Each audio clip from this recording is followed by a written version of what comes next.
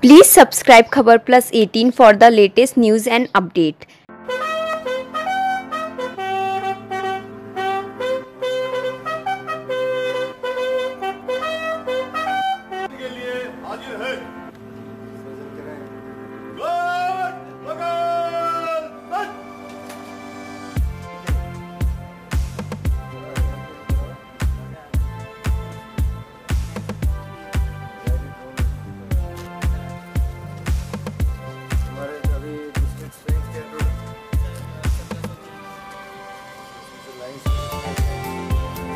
नीति बनाई जा रही है। पर कतई नहीं? क्यों बैकफुट लगते हैं आपको?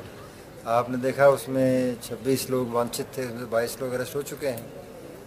दो चार लोग बचे वो भी आ जाएँगे। कहाँ जाएँगे? बदमाश कहाँ तक भागेंगे? कई बार समय ज़रूर लग जाता है बट बदमाश भाग तो रहे ना।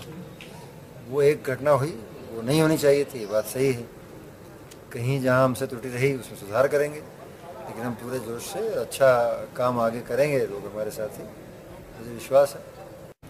राजस्थान में देखिए, हमारी चिंता है, ये चिंता ये है कि राजस्थान की सड़कों पे हर साल काफ़ी लोग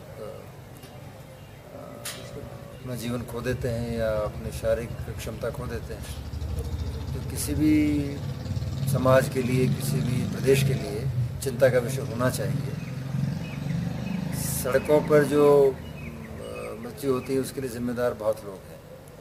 उसमें खुद जो वाहन चलाने वाले लोग हैं कई बार सड़क की ख़राब इंजीनियरिंग भी है आवारा पशु हैं। साइनेजेस का भाव है कभी कभी और कभी एनफोर्समेंट की कमी है। तो पुलिस विभाग अकेला तो पूरा दायित्व नहीं ले सकता, पर इतना अवश्य है कि हम प्रयास ज़रूर कर सकते हैं और प्रयास कर यथासंभव इसको कम कर सकते हैं। तो आज की इस दौरे का उद्देश्य भी यही है।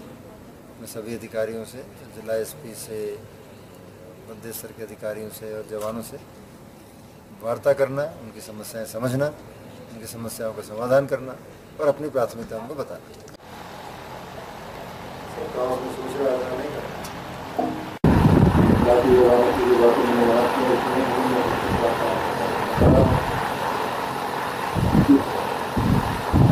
काम आसान नहीं मुश्किल काम।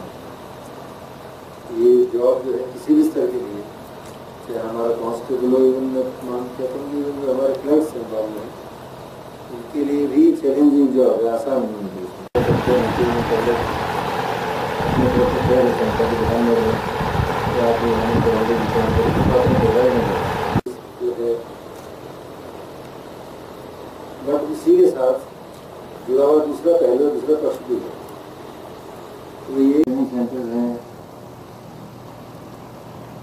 और किसी विभाग में हमारे राज्य सरकार में। नहीं हूँ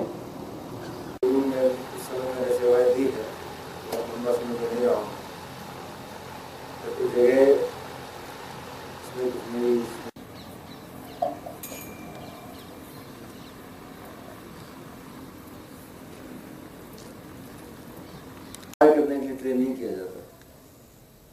हमें प्रोटेक्ट करने के लिए ट्रेन किया जाता। है फौज को इसके लिए ट्रेनिंग देते हैं नहीं काम कर रहे थे